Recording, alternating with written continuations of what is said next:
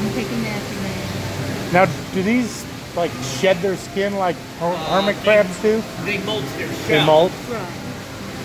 So the whole this whole thing gets molted. The whole top shell. No.